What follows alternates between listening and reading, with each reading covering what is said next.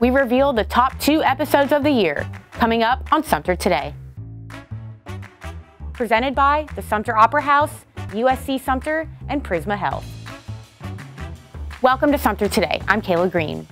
We've gone back over our top episodes of the year, reviewing what you all have watched the most. Turns out you like a good variety of topics.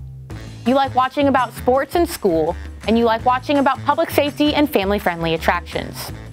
To start to wrap up 2021 in video at the Sumter Item, let's take a look at episode number two of the year, a look inside Ragin Preparatory Christian Academy and their journey to get where they are. My name is Sean Ragin, um, and I am the founder and the headmaster um, of Ragin Preparatory Christian Academy and the owner of our Little Lambs Learning Center, which is an extension of our um, early ele elementary program. Basically, we started in 2014, so this makes our seven year of existence. Um, and of course, I tell the story where we start with originally one, and then it multiplied, will add up to three students um, that very same day. And so from there, it's history.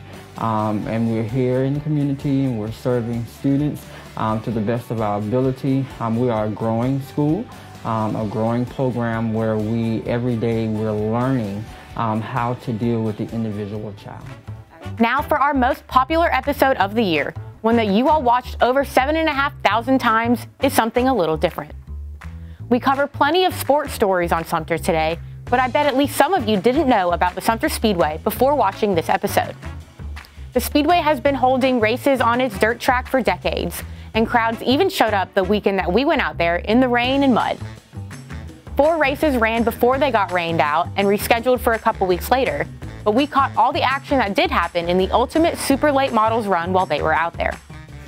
Sumter Speedway actually opened up in 1957 and it was actually in a cow pasture down the road it moved here and came became more of a um, fan base thing instead of like a play um, somewhere around 1958 I believe and we've been here ever since. On a typical Saturday night you're going to see six major classes. We have Super Street, Cruiser, um, Street Stock, we have Stock V8, Modified 4, Extreme 4, and Econo 4. Um, those are kind of your basic classes.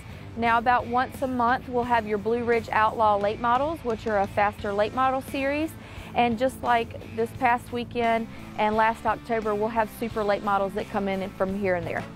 So there you have it, the 10 most popular episodes of the year. If you missed the others, go back on our Facebook page or at theitem.com slash studio Sumter and watch us recap the others. We love going out into the community to capture all the great that's going on around us. This range of top episodes shows us that you like watching it too. As 2021 comes to a close, we want to take a moment to thank our show sponsors, because without them, this show could not happen. So thank you to the Sumter Opera House, USC Sumter, and Prisma Health for supporting local news. And thank you for watching.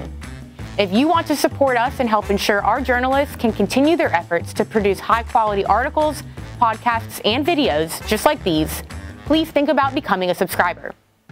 Subscribers get full access to what's behind every link and exclusive perks like subscriber only newsletters and more. A digital subscription includes access to our e-paper, which is a digital replica of the newspaper that's printed five days a week. Rates for a digital subscription start for as low as 254 a week.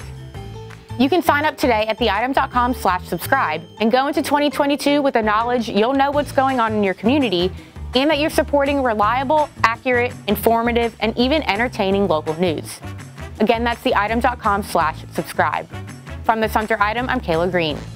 Thank you for another year at Sumter today, and we'll see you in 2022.